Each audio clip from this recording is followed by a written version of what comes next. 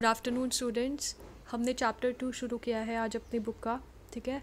तो सबसे पहले सभी बच्चे, जो बच्चे नए आए हैं, जो बच्चे काम नहीं कर रहे हैं और जो बच्चे कर रहे हैं, सबसे पहले जब क्लास चल रही होती है तो सिर्फ़ तुम्हें क्लास लेनी है और किसी सब्जेक्ट का काम या और कोई काम, घर का और कोई काम, सब छोड़ के सिर्फ़ क्लास लेनी है और उसके नोट्स साथ साथ बनाने हैं, ठीक है? ये नोट्स मैं बाद में भी भेजती हूँ पीडीएफ की फॉर्म में, इसको तुम साथ साथ बनाओगे तो कितना अच्छा लगेगा। है ना? तुम साथ साथ बनाओगे तो साथ साथ रिवाइज़ होता जाएगा। इसके बाद क्विज़ अटैम्प्ट करो। जो क्विज़ के क्वेश्चंस हैं, वो सारे नोट्स में से ही पूछे जाते हैं। जो क्विज़ है, वो थोड़ी देर में आता है। तो अगर तुम एक दो बार चेक करोगे दिन में तो उस वक्त तक आ जाता है। ठीक है? तो तुम क्विज़ अटैम्प्ट किया करो। चाहे तुम्हारे दो मार्क्स आए, तीन मार्क्स आए, कितने भी मार्क्स आए, जब तुम कोई क्वेश्चन अटैम्प्ट करते हो एक बार ही तो तुम्हें उस क्वेश्चन का एक्सपीरियंस हो जाता है। ठीक है? अगर तुमने क्लास देखी है नोट्स बनाए हैं तो तुम्हें ये तो पता ही है कि वो कहाँ से क्या बता रहे हैं। क्वेश्चन का मीनिंग तो समझ में आ रहा है ना। बस इतना काफ़ी है। अगर आंसर सही नहीं भी कर पा रहे तो भी। ठीक है? अभी भी काफ़ी बच्चे क्विज़ नहीं भेजते हैं मेरे को। जितना भी स्कोर है, मुझे बस ये पता होना चाहिए कि तुम एफ़र्ट किया है तुमने। ठीक है? तो तुम क्विज़ ज़रूर अटैम्प्ट किया करो। इसीलिए तुम्हारे इतने सारे पेपर होते हैं। Mid term unit test pre board board क्यों होते हैं? इसीलिए होते हैं ताकि तुम्हें एक बार एक्सपीरियंस हो जाए किसी क्वेश्चन का। जब तुम किसी क्वेश्चन को गलत करते हो तो तुम्हें लगता है कि उसका आंसर मैं ढूंढूं। या फिर तुम उस क्वेश्चन के बारे में ज़रा सा भी सोचते हो तो तुम उसके आंसर की तरफ़ अगली बार आंसर देखोगे या उसी वक्त आंसर ढूँढने की अगर तुम्हारी डेडिकेशन होगी तो तुम्हें वो आंसर हमेशा याद रहेगा, ठीक है? और अगली बार देखोगे तो भी याद रहेगा। तो इसीलिए क्विज़ ज़रूर अटैम्प्ट करना है सब बच्चों को। और लास्ट में ये जो असाइनमेंट है, ये हम डिस्कस कर रहे हैं। इस असाइनमेंट को सब बच्चे अपनी कॉपी में करेंगे। जो भी क्वेश्चन इसमें से या नोट्स में से या कहीं से भी समझ नहीं आता है वो तुम पूछ सकते हो, ठीक है? तो हम डिस्कस करते हैं। फ़र्स्ट क्वेश्चन है कि गिव रीज़न किंगडम प्रोटेस्टा जो हमारे पाँच किंगडम क्लासिफिकेशन है monera protista fungi plants and animal है ना? उसमें सेकेंड वाला किंगडम क्या है? किंगडम प्रोटेस्टा तो इसमें पूछा गया है कि किंगडम प्रोटेस्टा में युगलीना भी आता है डेस्मिट भी आता है, साथ में आते हैं, ठीक है? लेकिन अर्लियर किंग किंगडम क्लासिफिकेशन में इनको डिफरेंट डिफरेंट रखा गया था। ठीक है, ऐसा क्यों है? कि अभी जो क्लासिफिकेशन है उसमें साथ में रखा गया है, लेकिन अर्लियर क्लासिफिकेशन में they were placed in different kingdoms earlier ठीक है? तो इसलिए हमें पहले ये समझना पड़ेगा कि युगलीना क्या है और डेस्मिड क्या है और अर्लियर किंगडम की जो क्लासिफिकेशन थी वो कैसे हुई थी? तो ये हमारी टू किंगडम क्लासिफिकेशन है। हमें पता है जो टू किंगडम क्लासिफिकेशन है वो एरिस्टोटल ने भी दी थी और लीनियस ने भी दी थी। तो एरिस्टोटल ने तो बहुत ज़्यादा बेसिक क्लासिफिकेशन बेसिस पे दी थी उसको ठीक है? सिर्फ़ कि रेड ब्लड होता है या नहीं और ट्रीज़ भी कि उनकी हाइट कितनी है वो हर्ब्स हैं या फिर श्रब्स हैं या ट्रीज़ हैं। लेकिन ये जो लीनियस वाली है ना इसमें फिर भी उसने कुछ आ, मतलब अच्छे करेक्टर्स के साथ अच्छी कैटेगराइजेशन की है ठीक है? तो, तो हम इसको देखते हैं। तो इसमें एल्गी, फंजाई प्लांट्स में और एनिमल में ही डिवाइड किया है इसने भी। लेकिन इसने प्लांट में अच्छे से कैटेगराइज़ किया एनिमल्स में अच्छे से कैटेगराइज़ किया। तो हमारा जो युगलीना है, वो क्या होता है? जो हमारा युगलीना है, ये एक एनिमल है, ठीक है? इसको एनिमल क्यों कहते हैं? क्योंकि इसके पास सेल वॉल नहीं है। तो शुरू से ही लोगों को पता था कि जो युगलीना है, वो क्या है? एक एनिमल है। और जो डेस्मिड है, जिसको गोल्डन एल्गी भी बोलते हैं, वो क्या है? एक प्लांट है। ठीक है, जो एल्गी है, वो प्लांट्स होते हैं हमेशा। तो जो एल्गी है, वो प्लांट है, लेकिन जो युगलीना है, उसको पॉरीफरा में रखा गया, ठीक है, इसके साथ रखा गया कि ये एनिमल है, ठीक है, क्योंकि युगलीना जो है, वो एक एनिमल था तो इसको डिफरेंट डिफरेंट जो है किंगडम्स में क्लासिफाई किया गया था पहले। लेकिन अब जो हमारी क्लासिफिकेशन है present classification five kingdom classification अभी सिक्स किंगडम भी आ गई है, लेकिन हम फाइव किंगडम वाले को अभी तक फॉलो करते हैं। तो उसमें किंगडम प्रोटेस्टा में इन दोनों को रखा गया ऐसा क्यों है? क्योंकि इन दोनों के जो करेक्टर्स हैं वो कौन से हैं? इन दोनों का सेल टाइप यू कैरियोटिक है। इन दोनों की जो सेल वॉल है वो क्या है? प्रेजेंट नहीं है। ठीक है? ना ही युगलीना के अंदर सेल वॉल होती, ना ही एलगी के अंदर सेल वॉल होती। एल्गी में होती है। जो एल्गी है, वो गोल्डन एल्गी उसके अंदर सेल वॉल होती है युगलीना में नहीं होती।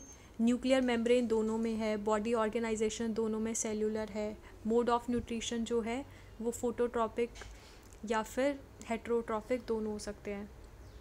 तो इसके अंदर ये सारे करेक्टर्स हैं दोनों के अंदर और यही इनकी सिमिलैरिटीज़ हैं और बाकी किंगडम से ये इसी बेसिस पे डिफरेंट हैं। ठीक है, जो हमारी फाइव किंगडम क्लासिफिकेशन है उस पर इन सारे बेसिस पे हमने क्लासिफाई किया था कि इसका जो सेल का स्ट्रक्चर है, वो कैसा है। प्रोकैरियोटिक है यूकैरियोटिक है यूनिसेलुलर है मल्टी सेलुलर है। इसकी ऑर्गेनाइजेशन कैसी है न्यूक्लियस है या नहीं, ठीक है? इसका मोड ऑफ़ न्यूट्रिशन क्या है, खुद खाना बना सकता है या हेट्रोट्रॉफिक है? इसमें रिप्रोडक्शन कैसे होती है और इसकी फाइलोजेनेटिक रिलेशनशिप क्या है? फाइलोजेनेटिक रिलेशनशिप मतलब बाकी जो ऑर्गेनिज़म्स हैं उनके साथ एवोल्यूशनरी रिलेशनशिप क्या है? कि कौन पहले आया, कौन बाद में आया? इन सब के बेसिस पे इन्होंने डिवाइड किया।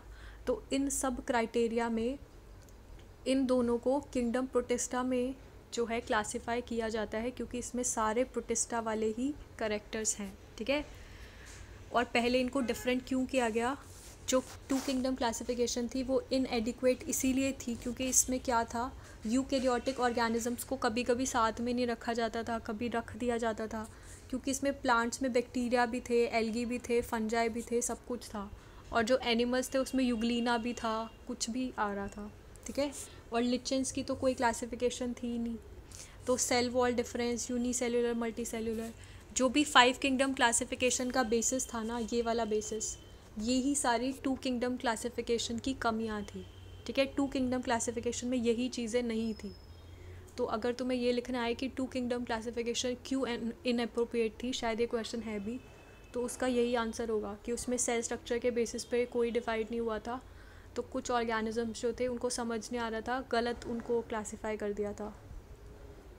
ठीक है, और उनका मोड ऑफ़ न्यूट्रिशन जो था, वो भी गलत, जैसे जो ऑटोट्रॉफिक थे, उनको हेट्रोट्रॉफिक के साथ कर दिया। जो प्लांट्स है, खुद खाना अपना बनाते हैं, ठीक है? वो जो हैं, उनके साथ हमने बैक्टीरिया को भी कर दिया। तो ये सारी इसमें कमियाँ थी, ठीक है? इसके बाद सेकंड क्वेश्चन तुमसे पूछा गया है कि एक्सप्लेन करो why five kingdom classification was preferred over two kingdom classification तो इसका सेम यही होगा, जो टू किंगडम क्लासिफिकेशन थी, वो दो लोगों ने दी थी। सबसे पहले उसको दिया था एरिस्टोटल ने, और एरिस्टोटल ने तो बहुत ज़्यादा ही बेसिक कर दिया था। इसने बोला था कि प्लांट और एनिमल दो किंगडम होती हैं, सारे ऑर्गेनिजम्स इसी में डिवाइड हो सकते हैं।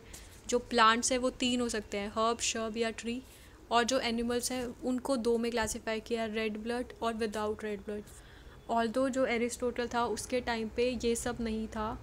384 से 322 बीसी मतलब वो बहुत बहुत बहुत ज़्यादा मतलब एक तरह की से उसने शुरू किया है बायोलॉजी को साइंसेस को। तो एरिस्टोटल को फादर ऑफ़ बायोलॉजी भी कहते हैं। तो उस हिसाब से उस टाइम पे उसने बहुत ज़्यादा काम किया था कि उसने पूरी एक बुक लिखी, इन ऑर्गेनिज़म्स को सबको कैटेगराइज किया अपने हिसाब से, लेकिन ये इनफ नहीं था, ठीक है? तो बाद में लीनियस ने इसको क्लासिफाई किया। तो लीनियस का काम हम देख ही चुके हैं। जो लीनियस है, उसने फिर भी कुछ कैटेगराइजेशन की एल्गी फंजाई बैक्टीरिया ब्रायोफा मतलब गलत किया, पर फिर भी काफ़ी चीज़ों को सही भी किया। इसमें अगर फंजाई और बैक्टीरिया अगर निकाल दें तो बाकी जो हमारी फाइव किंगडम क्लासिफिकेशन है, उसमें काफ़ी इसमें से ही लिया गया है, ठीक है? प्लांट्स को सब कैटेगराइज करेंगे तो यही आएगा। जो एनिमल्स है, उसकी भी क्लासिफिकेशन काफ़ी काफ़ी यही है, ठीक है? एक दो एक्सेप्शन के साथ। तो जो लीनियस है, उसने भी अच्छा काम किया, पर इसकी जो कमियाँ थी, वो क्या थी? फाइव किंगडम क्लासिफिकेशन में जो भी खूबियाँ हैं, वही इसकी कमी है कि उसमें सेल स्ट्रक्चर के हिसाब से ऑर्गेनिजम्स को क्लासिफाई किया था। यूनी सेलुलर और मल्टी सेलुलर ऑर्गेनिजम्स अलग अलग थे। प्रोकैरियोटिक और यूकैरियोटिक ऑर्गेनिजम्स अलग अलग हैं। ठीक है? जिनके पास न्यूक्लियर मेम्ब्रेन है और जिनके पास न्यूक्लियर मेम्ब्रेन नहीं है, वो सबको अलग अलग डिवाइड किया है। जिसका मोड ऑफ़ न्यूट्रिशन जैसा है, उसको अलग अलग डिवाइड किया है। ठीक है? जिसका बॉडी ऑर्गेनाइजेशन सेलुलर है, या फिर मल्टी सेलुलर है, या टिश्यू लेवल है ऑर्गन लेवल है ऑर्गन सिस्टम लेवल है, हमें पता है कि जो एक सेल होता है, वो क्या बनाते हैं? बहुत सारे सेल मिलके टिश्यू बनाते हैं। ठीक है? बहुत सारे टिश्यूज़ एक ऑर्गन बनाते हैं, जैसे लिवर एक ऑर्गन है। इसके बाद ब्रेन एक ऑर्गन है, उसमें नर्वस टिश्यू होता है। ठीक है? इसके बाद बहुत सारे ऑर्गन मिलके एक ऑर्गन सिस्टम बनाते हैं, जैसे हमारा डाइजेस्टिव सिस्टम रेस्पिरेटरी सिस्टम ठीक है? और उसके बाद ऑर्गन सिस्टम्स मिलके ऑर्गेनिज्म बनाते हैं। तो बॉडी ऑर्गेनाइजेशन के बेसिस पर भी इसको अलग अलग कैटेगराइज किया गया। कोई भी ऐसा नहीं था कि सेलुलर जिसकी बॉडी ऑर्गेनाइजेशन हो, एक ही सेल हो, और जो ऑर्गन सिस्टम हो, उन सबको साथ में क्लासीफाई कर दिया। ऐसा कभी नहीं हुआ। तो जो टू किंगडम क्लासिफिकेशन की कमियाँ हैं और जो फाइव किंगडम क्लासिफिकेशन की खूबियाँ हैं, वो सारी यही हैं। समझ में आ गई ये बात? ये सारे क्वेश्चंस एक दूसरे से लिंक्ड ही हैं, देखा जाए तो।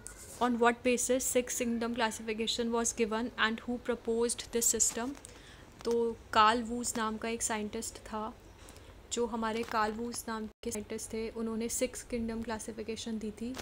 तो उन्होंने बोला था कि हमारे जो हैं थ्री डोमेन्स ऑफ़ लाइफ हैं। कहाँ गई सिक्स ये रही। कार्ल वूज ने दी थी 1990 में। तो उन्होंने बोला था कि हमारे थ्री डोमेन्स ऑफ़ लाइफ हैं यूकैरियोटिया बैक्टीरिया और आर्किया ठीक है? तो हमारे जो सिक्स किंगडम क्लासिफिकेशन है, वो इसी से बनती है। पहला किंगडम है आर्किया दूसरे में आता है बैक्टीरिया और तीसरे में यूकेरिया यूकेरिया में क्या क्या आता है? प्रोटिस्टा फंजाई, हमारे प्लांट्स और हमारे एनिमल्स ठीक है? तो एक, दो, तीन, चार, पाँच छः तो ये जो हमारे छः किंगडम्स हैं, ये कालवूस ने बताए थे 1990 में, ठीक है? तो तुम ये छः सिस्टम्स याद कर सकते हो और लिख सकते हो। इसके बाद नेक्स्ट फोर्थ क्वेश्चन है तुम्हारा कि cell membrane of archaea and bacteria में क्या डिफरेंस है? तो ये तुम्हें इकबाल कौर मैम ने ढंग से समझाया भी है कि जो आर्किया है, उसमें क्या होता है, पेप्टिडोग्लाइकन जो है नहीं होता, ठीक है? लेकिन जो बैक्टीरिया है, उसकी सेल वॉल में पेप्टिडोग्लाइकन की बनी होती है, ठीक है? पेप्टाइड मतलब प्रोटीन, ग्लाइकन मतलब कार्बोहाइड्रेट। तो प्रोटीन और कार्बोहाइड्रेट मिलके जो है, इसकी सेल वॉल बनाते हैं बैक्टीरिया की, और इसकी वॉल में पेप्टिडोग्लाइकन जो है, वो नहीं होता। इसके बाद जो आर्किया है, इसमें ईथर लिंकेज होती है, इसमें एस्टर लिंकेज होता है। ईथर लिंकेज की वजह से ही ये क्या होता है? बहुत ही एक्सट्रीम कंडीशंस में सरवाइव कर पाता है, ठीक है?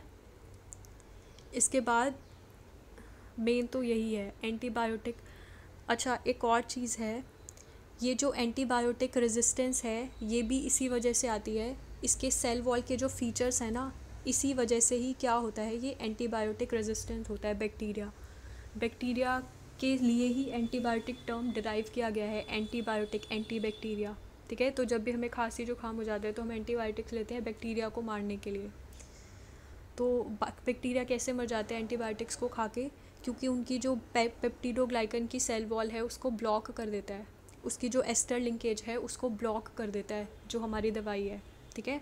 तो वो ग्रो नहीं हो पाता और क्योंकि उसकी जो सेल वॉल है वही ब्लॉक हो गई तो उसका खाना पीना इधर उधर नहीं जा पाता। तो उसका जो ग्रोथ है वो भी ब्लॉक हो गई, ऊपर से वो सर्वाइव नहीं कर पाता, इसलिए वो मर जाता ठीक है? इतनी बात समझ में आ गई। अब लास्ट क्वेश्चन है कि टू किंगडम क्लासिफिकेशन को एरिस्टोटल ने जो की थी, उसको कोई क्रेडिट नहीं किया जाता, पर लूनियस वाले को क्रेडिट दिया जाता है। ये हम देख चुके हैं कि एरिस्टोटल ने बहुत ही बेसिक क्राइटेरिया को देखकर क्लासिफिकेशन की थी। लेकिन जो लीनियस की कैटेगराइजेशन है, वो काफ़ी क्लोज है हमारी फाइव किंगडम क्लासिफिकेशन से। उसमें प्लांट्स जो हैं, उसमें काफ़ी जो है एल्गी आता है, जो हमारा ब्रायोफाइटा टेरिडोफाइटा ये सब तक पहुँच गया था वो, ठीक है? और जो हमारे एनिमल्स हैं, उसमें भी उसने क्लासिफिकेशन कर दी थी जितना हमें हम इस वक्त जानते हैं, उस हिसाब से पॉरीफरा भी कर दिया था सिलेंटरेटा एनालीडा सबको ढंग से कर दिया था, इसलिए इसको क्रेडिट दिया जाता है। एरिस्टोटल की क्लासिफिकेशन बहुत ही बेसिक थी। उसके बेसिस पे हम कुछ भी आगे डिराइव नहीं कर सकते, आगे स्टडी नहीं कर सकते, इसलिए एरिस्टोटल वाले को जो है क्रेडिट नहीं दिया जाता। इसके बाद भी तुम्हें कोई क्वेश्चन समझ ना आए, या फिर तुम बुक पढ़ो और तुम्हें कोई भी डाउट हो, या आज की क्लास से कोई डाउट हो तो पूछ लिया करो क्लासेस ज़रूर अटेंड किया करो। अपना जो रजिस्टर है, उसको पूरा कर लो, जो तुम्हारे प्रैक्टिकल्स होंगे वो तुम्हें कराए जाएँगे, लेकिन जो तुम्हारी प्रैक्टिकल नोटबुक्स हैं और जो तुम्हारी क्लास की नोटबुक्स हैं और जो तुम्हारा रिकॉर्ड बन रहा है, जो तुम काम कर रहे हो, उसके बेसिस पे ही तुम्हारे मार्क्स होंगे, क्योंकि अब हम स्कूल तो जा नहीं रहे। हम तुम्हें देख तो सकते नहीं है कि तुम प्रैक्टिकल कैसे कर रहे हो या फिर कैसे बच्चे हो। तो हमें सारे रिकॉर्ड्स के बेसिस पे ही तुम्हारे मार्क्स देने पड़ेंगे। तो अपना काम पूरा कर, करके भेज दिया करो, ठीक है?